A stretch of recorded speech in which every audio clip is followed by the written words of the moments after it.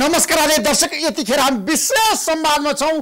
देशमा यतिखेर बजेटको चर्चा परिचर्चा र बहस सुरु भएको छ। हाम्रो देशको आगामी बजेट जेठ पन्ध्र गते आउने बजेट कस्तो हुनुपर्छ?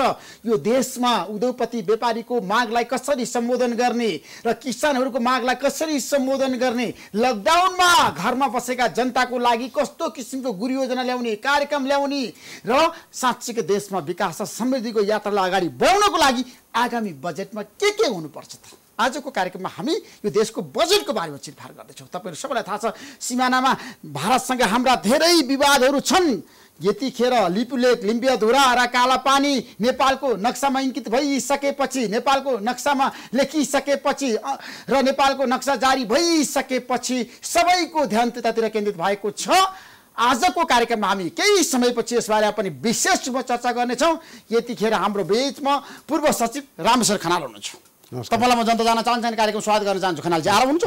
एकदम। लकडाउनले तपाईँलाई पनि प्रभावित पार्यो?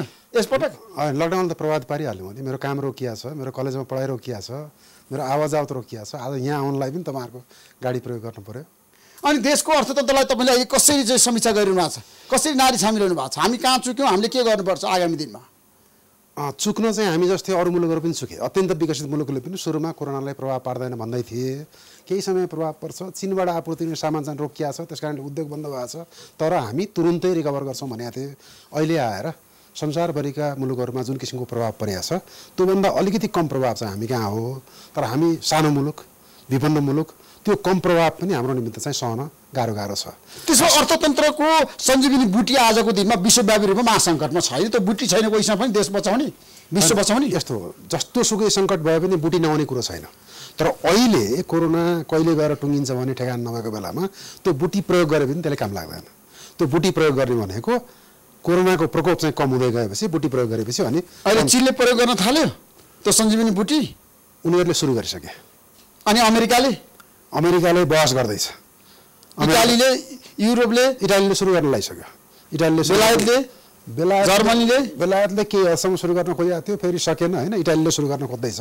भारतले पनि सुरु गर्न खोज्दैछ। भारतमा पनि सुरु भयो। सुरु गर्न खोजेको छ उनीहरूले विभिन्न किसिमका दोकानहरू खास गरी व्यक्तिगत सम्पर्क सम्बन्ध हुने बाहेक र सामान्य अवस्थामा मात्रै गर्ने असामान्य अवस्थामा गर्न नपर्ने कामहरू बाहेक अरू चाहिँ करिब करिब खुला गर्दैछन्। दिल्लीमा पनि धेरै दोकानहरू खुला हुँदैछन् अहिले। अब नेपालमा के गर्ने त? जनता जान चाहन्छन् अहिले बताउनुहोस् त। हामी कहाँ लकडाउन चाहिँ कस्तो भयो भने यो इकोनोमिक लकडाउन मात्रै भयो। अहिलेसम्म तपाईँले हेर्नुभयो भने यो गएको दुई महिनाको अवधिमा सोसल लकडाउन भएन। काठमाडौँमा सङ्क्रमित जो देखिनुभयो आज हिजो उहाँ चाहिँ रामेछापबाट आउनुभएको रहेछ कहिले? वैशाख तिस गते। भनेपछि सामाजिक हिसाबले त हामी लकडाउनमा रहन्छौँ नि त। मान्छे पास लिएको छ कसैले मलाइजा छ कसैले केही अब अरू खुराफात गरे होला। मान्छे कञ्चनपुरदेखि काठमाडौँ पनि आएको छ काठमाडौँदेखि वीरगञ्ज विराटमा पनि गएको छ। यो सोसल लकडाउन चाहिँ भएन। हुनुपर्ने सामाजिक लकडाउन हो। सामाजिक लकडाउन हो। उद्योगपतिहरूलाई लकडाउन लगाउने बरु होइन। बरु आर्थिक लकडाउन चाहिँ कम गरे भए हुन्थ्यो। हामी इकोनोमिक लकडाउन चाहिँ कसिएर गऱ्यौँ तर सोसल लकडाउन चाहिँ गर्न सकेनौँ। त्यही भएर हामीलाई अलिअलि सङ्क्रमण फैलिया हो। होइन भने अब हामी बिस्तारै आर्थिक गतिविधिहरू जोनिङ गरेर जानै पर्छ भन्ने दृष्टिकोणमा सरकारभित्र पनि त्यो बहस भएको छ। र बाहिर जसले सरकारलाई सल्लाह दिइरहेका छन् ती व्यक्तिहरूले पनि हामी यसरी धेरै लामो समयसम्म किनभने यसले सम्पन्न वर्गलाई उच्च मध्यम वर्गलाई मध्यम वर्गलाई निम्न मध्यम वर्गलाई पनि असर गर्दै गरेन। यसले निम्न मध्यम वर्गभन्दा मुनिका विपन्न वर्ग दैनिक रोजगारीमा रहेका मानिसहरू र विदेशमा काम गर्न गएका मानिसहरूलाई प्रभावित गर्यो। जुन वर्गलाई राज्यले हेर्नुपर्ने उसैलाई प्रभावित गर्ने गरी हामीले लकडाउन चाहिँ गऱ्यौँ भने अब यो लकडाउनको मोडालिटी परिवर्तन गर्नुपर्छ भन्ने विषयमा त सरकारभित्र पनि छ। प्रत्येक वर्ष तपाईँलाई थाहा छ बजेट निर्माण गर्दाखेरि तपाईँको भूमिका हुने गर्छ। अर्थ मन्त्रालयमा जानुहुन्छ अर्थ मन्त्रीलाई तपाईँ सल्लाह दिनुहुन्छ विज्ञहरूसँग पनि अन्तर्क्रिया गर्नुहुन्छ अर्थ मन्त्रालयका संरचनासँग संहितासँग तपाईँको लिङ्क प्रभाव र कनेक्सन छ। मलाई के बताउनुहोस् भन्दाखेरि प्रत्येक- अहिलेको अवस्थामा सुन्नुहोस् है। प्रत्येक वर्ष छैन। होइन प्रत्येक वर्ष नहोला तर यो बजेटमा तपाईँको भूमिका छ कि छैन। अहिले निर्माण हुन लागेको बजेटमा। अप्रत्यक्ष रूपमा पक्कै होला किनभने कतिपय ठाउँमा कुरा पनि गरिएको छ कतिपय ठाउँमा तपाईँलाई बोलाएर पनि अर्थमन्त्रीले सल्लाह गर्नुभएको छलफल गर्नुभएको कुरा मैले बुझाएको छु। युवराज खतरा तपाईँको बिचमा।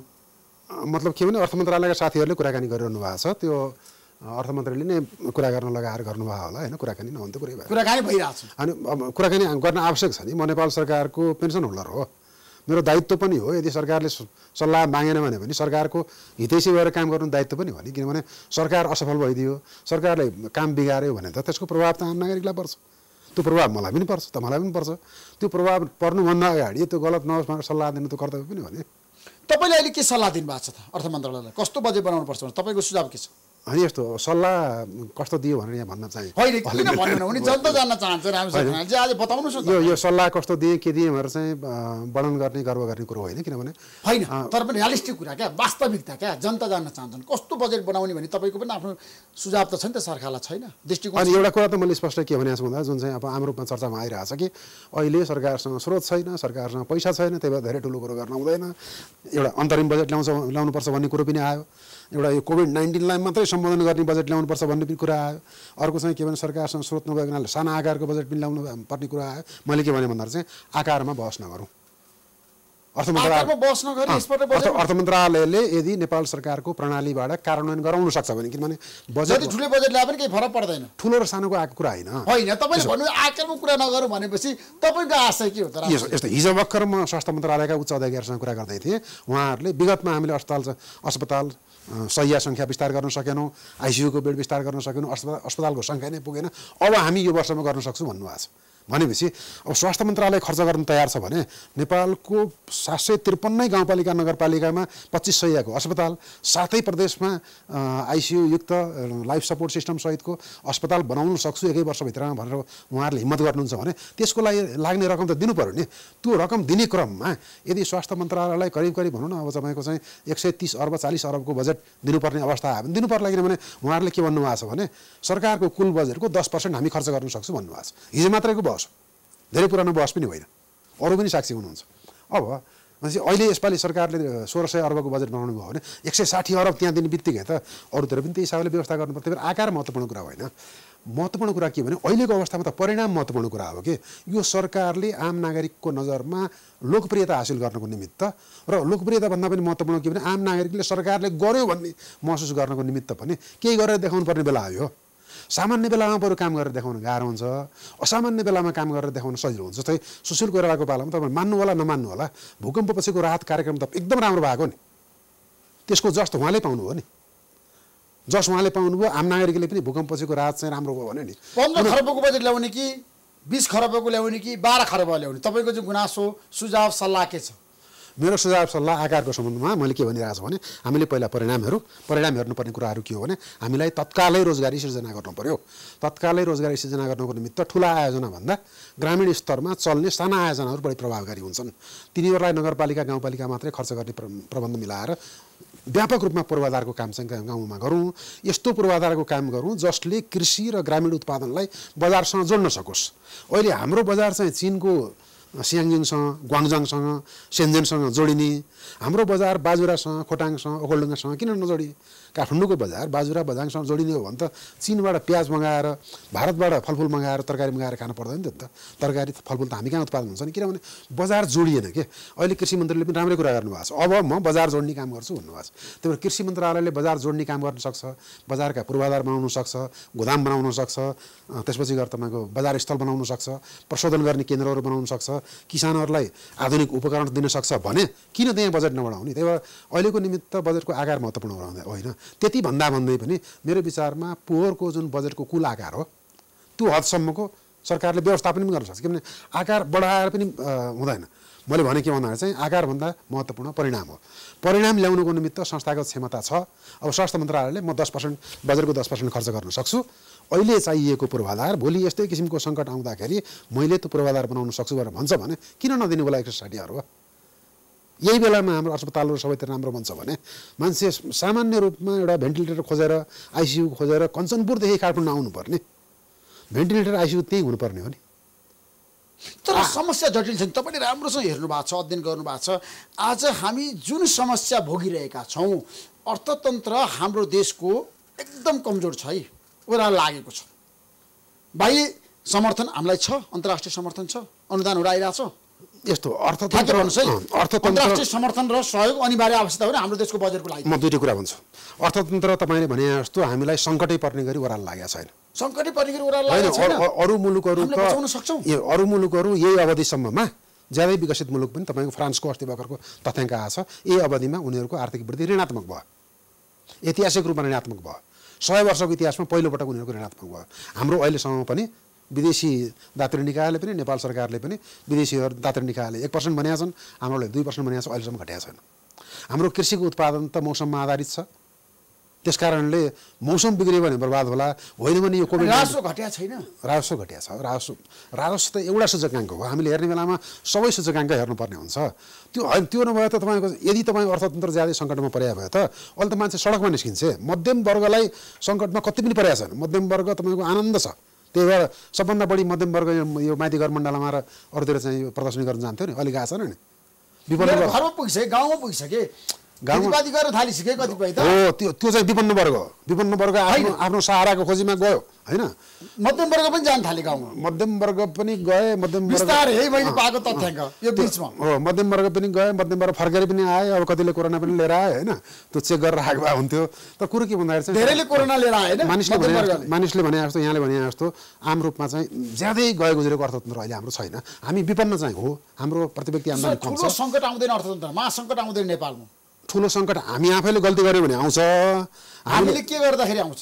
हामीले अब अर्थतन्त्रलाई व्यवस्थापन गर्न सकेनौँ संस्थागत क्षमता सुधार गर्न सकेनौँ र लक्षित रूपमा कहाँ कहाँ हिट गर्दाखेरि तपाईँले बिरामी हुनुभयो भने होइन अब तपाईँलाई रोग लागेको छ चाहिँ उसको कलेजोको अनि उपचार गर्नुभयो नाकको भने तपाईँको ठिक हुँदैन नि। त्यस कारणले कहाँ कहाँ रोग लागेको छ त्यहाँ त्यहाँ उपचार गर्ने गरी आर्थिक नीतिहरू कार्यक्रमहरू बजेटमा आउने हो भने त्यसले चाहिँ समाधान गर्छ। सरकारको नीति र कार्यक्रमले त्यति आश्वस्त पारेन किनभने त्यो अत्यन्त महत्त्वाकाङ्क्षी सामान्य वर्षमा जस्तो आयो असामान्य वर्ष जस्तोमा आएन। अब दोस्रो कुरा तपाईँले जुन अहिले प्रश्न गर्नुभएको थियो नि त्यहाँमा आउँछु। त्यो भनेको अन्तर्राष्ट्रिय समुदायको हामीलाई सहयोग समर्थन छ कि छैन भन्ने कुरामा हामीलाई सहयोग समर्थन छ। यही बेलामा पनि एकदम तीव्र गतिमा अन्तर्राष्ट्रिय मुद्रा कोषले नेपाललाई दुई सय चौध मिलियन डलरको सहायता स्वीकृत गर्यो। यही बेलामा विश्व ब्याङ्क र विश्व ब्याङ्कले पनि सहायता स्वीकृत गरिसक्यो। एक एक एक लटको सहायता स्वीकृति गरिसक्यो। यही बेलामा एसियाली विकास ब्याङ्कले पनि सहायता स्वीकृत गर्ने क्रममा छ र विश्व ब्याङ्क र एसियाली विकास ब्याङ्क र अन्तर्राष्ट्रिय मुद्रा कोष तिनटैले हामीलाई सहयोग दिने ठुला निकायहरू तिनै हुन्। तिनवटैले हामीलाई पऱ्यो भने अरू थप सहयोग दिन्छु पनि भनेका छन्। त्यसबाहेकको हामीले माग्न गएका छैनौँ होइन? चिनले पनि हामीलाई सहयोग गर्छु भनेको थियो नि। भारतले पनि हामीलाई सहयोग गर्छु भनेको थियो नि। हाम्रा अरू राजनीतिक विवादहरू सीमा विवादहरू भन्ने कुरा अर्को हो। त्यो कूटनीतिक तहबाट वार्ता होला छलफल होला। तर हामीलाई छिमेकी मुलुकको हैसियतले हामीलाई परेको बेलामा विकास सम्बन्धी सहयोग गर्नको निमित्त हामीलाई परेको बेलामा स्वास्थ्य सम्बन्धी सहयोग गर्नको निमित्त छिमेकी मुलुक पनि तयार छन्। हामीले त्यो सह सह- सहायता लिनको निमित्त प्रस्ताव त लिएर जानु पर्यो नि। यही अवधिमा अब नआउने भयो नि त हाम्रो देशमा। विदेशमा बसेका नेपालीहरू स्वदेश फर्काउँदैछन् नि राम्रोसँग। उनीहरूले- देशको विकास र समृद्धिको बजेटको एक हिस्सा त तपाईँलाई थाहा छ रेमिटेन्स पनि हो। बजेटको होइन बजेटको होइन बजेटको लागि चाहिँ अप्रत्यक्ष रूपमा हो। हाम्रो ब्याङ्किङ प्रणालीको नगदको एउटा ठुलो हिस्सा स्रोत विप्रेषण हो। तर कुरो के छ भने विप्रेषण गर्दा हाम्रो आन्तरिक उत्पादन पनि बढ्छ नि त। आखिर त्यहाँबाट फर्केर आएको मान्छेले नेपालमा केही न केही उत्पादन त गर्छ नि। होइन? उसले गर्ने उत्पादन उसले जुन उत्पादन गर्नु गर्छु भन्छ नेपालमा त्यो गर्नको निमित्त सरकारले अब यो बजेटको माध्यमबाट नीतिगत सहयोग कार्यक्रमिक सहयोग र कतिपय अवस्थामा उनीहरूलाई उपकरण तालिम यावतको सहयोग पनि चाहिन्छ। त्यो सहयोग दियो भने उताबाट आउने पैसाको सट्टामा उसले नेपालमै पैसा फलाउँछ। होइन? त्यही भएर त्यो उनीहरू फर्किँदा विप्रेषण घट्छ भनेर हामी चिन्तित नहौँ। उनीहरू फर्किँदा उनीहरूसँग सिप पनि आउँछ जाँगर पनि आउँछ अलिकति पुँजी पनि आउला र त्यसमा नेपाल सरकारले प्रविधि तालिम र पुँजीगत सहयोग त्यसपछि पूर्वाधारको सहयोग पनि दियो भने उनीहरूले नेपालमै केही उत्पादन गर्छन्। अहिले पनि कतिपय मान्छेहरू फर्केर आएर बाँझो जमिन जोतेर मकै फल्न थालिसक्यो भन्न पनि सुरु गरिसके। त्यो छ। तर कुरो के भने वैदेशिक मुद्राको सञ्चितमा विप्रेषण घटेको कारणले नराम्रो प्रभाव पर्छ कि भनेर सरकार केही कुरामा सतर्क हुनैपर्छ। त्यो सतर्क हुनु पर हुनु हुनु- हुनुपर्ने कुरामा केही हदसम्म आयातलाई नियन्त्रण पनि गर्नु पर्ला र अर्कोतिर गएर हामीले के गर्नुपर्ने हुन्छ भने हामीले विदेशबाट विगतमा लिएको ऋणको ब्याज र सावा दुई तिन वर्षको निमित्त थाँती राखिदेऊ। हामी अहिले तिर्दैनौँ। तिर्न नसक्ने त होइन तर हामी तिर्दैनौँ किनभने हामीसँग विदेशी मुद्रा हामीलाई चाहिन्छ अहिले। तिन वर्षपछि गएर हाम्रो आर्थिक स्थिति सहज भएपछि हामी तिरौँला भन्यो भने वर्षको बत्तिस तेत्तिस अर्ब त्यसैबाट आउँछ। हामीले वर्षको बत्तिस पैँतिस अर्ब त। त्यसमा तपाईँले विभिन्न विकल्प दिनुभयो अर्थतन्त्रलाई बचाउन सकिन्छ। एकदम सकिन्छ नसकिने होइन। अहिलेको नेतृत्व सबल र सक्षम छ? अर्थतन्त्रलाई एकदम स्थिर राख्न सक्छ? खनालजी अब अहिलेको अर्थमन्त्री त अर्थतन्त्रको सबभन्दा जानकार हुनुहुन्छ। उहाँ उहाँ अन्तर्गतको टिम पनि उहाँलाई सहयोग गर्न तयार छ। प्रधानमन्त्री केपी शर्मा ओली नै सफल हो अर्थतन्त्रमा? अब प्रधानमन्त्रीले अर्थतन्त्रको सञ्चालनको जिम्मा अर्थमन्त्रीलाई दिनुभएको छ। उहाँले आफूले प्रत्यक्ष रूपमा केही बोल्या गरे जस्तो लाग्दैन। तर कुरो के भने कुनै पनि प्रधानमन्त्रीले कुनै पनि अर्थमन्त्रीले म असफल हुँ भन्ने चाहना त राख्दैन नि। त्यसमा आगामी बजेटको बुदागत रूपमा छ नि महत्त्वपूर्ण पाटो के के हुनुपर्छ? एक दुई तिन। महत्त्वपूर्ण पाटो चाहिँ के भन्दाखेरि सरकारले पहिलो कुरा राहतमा ध्यान दिनु पऱ्यो दोस्रो रोजगारी सृजनामा ध्यान दिनु पऱ्यो तेस्रो स्वास्थ्यको पूर्वाधार जुन स्वास्थ्य मन्त्रालयले हामीलाई कुल बजेटको दस प्रतिशत देऊ र हामी नेपालभरि स्वास्थ्य संरचना निर्माण गर्छु भनेको छ त्यो जुन वचन उहाँहरूले दिनुभएको छ त्यो वचन पुरा गर्ने गरी दिउँ। उहाँहरूले खर्च गर्न सक्नु भएन भने एक वर्षपछि गएर प्रश्न गरौँला। तेस्रो चौथो कृषि पाँचौँ चाहिँ औद्योगिक पुनरुत्थान। अहिले उद्योगहरू व्यवसाय साना ठुला मजौला हाम नेपालको निजी क्षेत्रले चाहिने भन्दा बढी कुराहरू माग्छ माग्नलाई। तर उसले माग्यो भन्दैमा उसको सङ्कटलाई हामीले नजर नजरअन्दाज गर्न मिल्दैन। ज्याला दिन सकिरहेको छैन बिचरा ब्याज तिर्न सकिरहेको छैन ऋणको भार छ नयाँ होटल खोलेको छ नयाँ उद्योग खोलेको छ क्षमता विस्तार गरिएको छ यही बेलामा गएर तपाईँको सङ्कट भएको ठुल्ठुला बिल्डिङ बनाएर काठमाडौँमा भाडामा लगाउँछ भनेका मान्छेहरू अहिले भाडामा लगाएको भोलिपल्ट कोभिड नाइन्टिन सुरु भयो अब त्यो भाडा आउँदैन। उसको ऋण तिर्न परिरहेछ भाडा आइरहेछन् त्यसको सङ्कट छ त्यही भएर यो यो व्यावसायिक जुन सङ्कट छ त्यसलाई कम गर्नको निमित्त आर्थिक पुनरुत्थानका कार्यक्रमहरू आउनुपर्छ। सबैभन्दा सजिलो चाहिँ आर्थिक पुनरुत्थानको कार्यक्रम छ किनभने त्यसमा प्रोत्साहनको कार्यक्रम ल्याउनको लागि अहिले सरकार तयार भयो सरकार तयार हुनैपर्छ किनभने त्यहाँ बढी पैसा लाग्दैन। त्यसको निमित्त मौद्रिक हतियार पनि छ। त्यसको निमित्त ब्याङ्क तथा वित्तीय संस्थाहरूलाई केही समयको निमित्त ऋण तिर्ने म्याद सार्देऊ भन्ने पनि हुन्छ। त्यस कारण त्यसको निमित्त मौद्रिक उपकरण नेपाल राष्ट्र ब्याङ्क तथा वित्तीय संस्थाहरू सबै मिलेर गर्न सक्ने भयो हुनाले नेपाल सरकारले आफ्नो कोषबाट रकम छुट्याएर त्यो त्यहाँ चाहिँ सहयोगै दिनुपर्छ भन्ने छैन। एक हदसम्म साना घरेलु उद्योगलाई केही सहयोग चाहिँ दिनु पर्ला। एक हदसम्म कर छुट पनि दिनु पर्ला। मैले के भनिरहेको छु भने पचास लाखभन्दा कम कारोबार गर्ने साना उद्योगी व्यवसायी व्यापारी यिनीहरूले वर्षको एउटा स्थिर कर तिर्नुपर्छ। त्यो छोडिदिने फरक फरक केही फरक पर्दैन। त्यो छोडिदियो भने उनीहरूलाई राहत हुन्छ। सरकारको पनि धेरै क्षति हुँदैन। त्यस कारणले त्यहाँ धेरै पैसा आवा आवश्यक पर्दैन। अहिले बढी पैसा आवश्यक पर्ने भनेको दुईवटा कुरामा हो। एउटा रोजगारी सृजनामा। त्यसमा सयौँ अर्बको आवश्यकता पर्ला। विभिन्न कार्यक्रम माध्यमबाट। अर्को स्वास्थ्यमा। स्वास्थ्यले के भन्यो भने मलाई दस पर्सेन्ट बजेटको दस पर्सेन्ट चाहिँ म खर्च गर्न सक्छु देऊ भनेको छ अब पन्ध्र सय अर्बको बजेट बनाइयो जस्तै पोहोर सालको बजेट कति थियो? पन्ध्र सय बत्तिस अर्बको।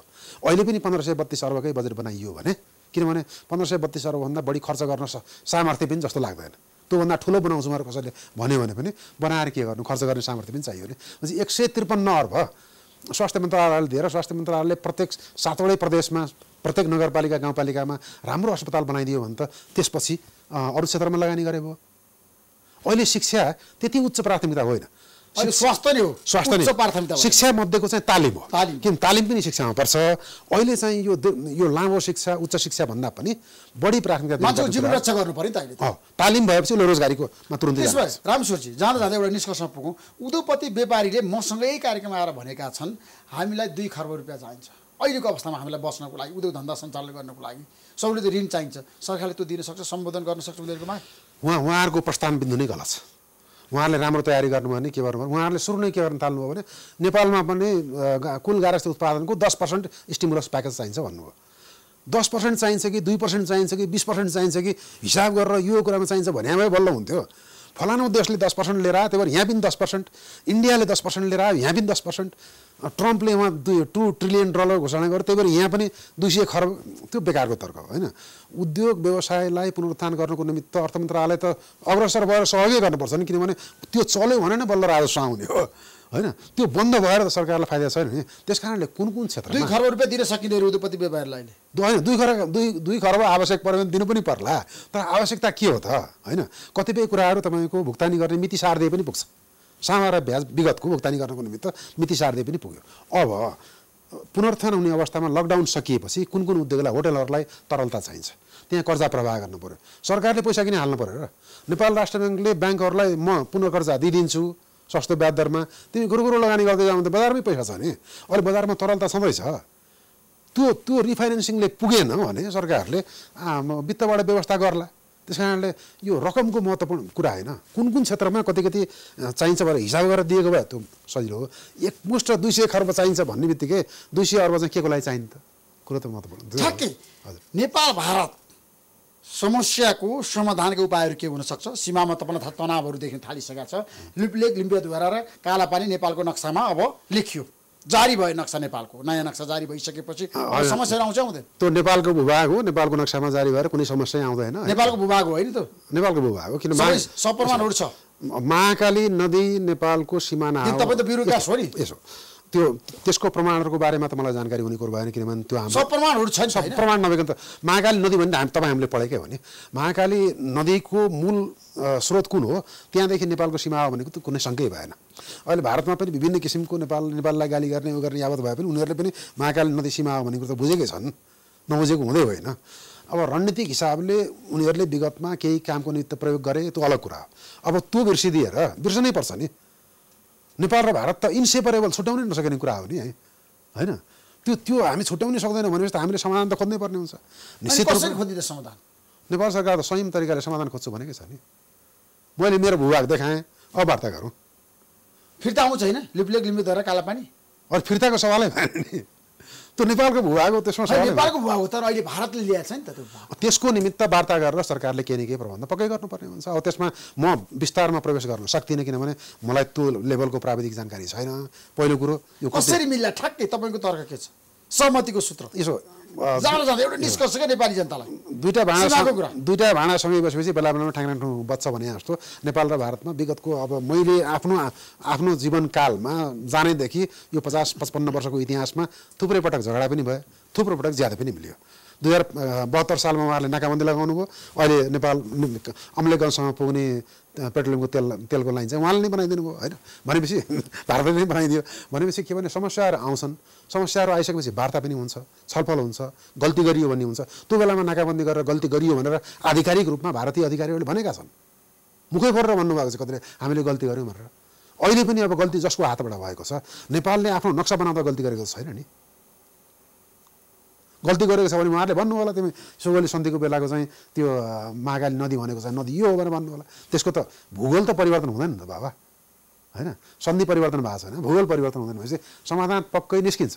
समा समाधान ननिकालिकन त। त्यसो मोदी र ओलीकै बिचमा कुराकानी हुनुपर्छ। होइन यो त मूलभूत रूपमा के भने नेपाल राज्यका निकायहरू हुन्छन्। व्यक्ति महत्त्वपूर्ण कुरा होइन। राज्यका निकायहरू हुन्छन् राज्यका निकायले वार्ता गर्ने हो। त्यो राज्यको निकायको प्रतिनिधिको हैसियतले प्रधानमन्त्रीको तहमा वार्ता गर्न पनि पर्ने होला। राज्यको निकायको प्रतिनिधिको हैसियतले प्र परराष्ट्र मन्त्रीको तह तहमा वार्ता गर्नुपर्ने होला। कुन तहमा वार्ता गर्दा सल्टिन्छ भनेको त नेपाल र भारत बिचमा त संयुक्त आयोगहरू थुप्रै छन्। थुप्रै माध्यमहरू छन्। कुरा गर्ने माध्यम नभएको भने अहिले पनि कुराकानी भइरहेको होला। अब मिडिया त के हो भने तपाईँको दक्षिण एसियामा भड्काउने एकले अर्कोलाई भड्काउने दक्षिण एसियामा अशान्ति भइदियो भने मिडिया मिडियाको सफलता हुन्छ भन्ने छ कि? भारतको मिडिया पनि त्यही हो पाकिस्तानको मिडिया पनि त्यही हो कतिपय अवस्थामा यहाँको मिडिया पनि त्यही हो। त्यही भएर मिडियाले के गर्यो भन्ने कुरा महत्त्वपूर्ण कुरा होइन। महत्त्वपूर्ण कुरा के भने नेताहरूले अहिले टेलिफोन संवाद भइरहेछ। भइरहेछ हो। थ्याङ्क यू तपाईँ पनि नमस्कार। हस् नमस्कार हस् नमस्कार। Thank you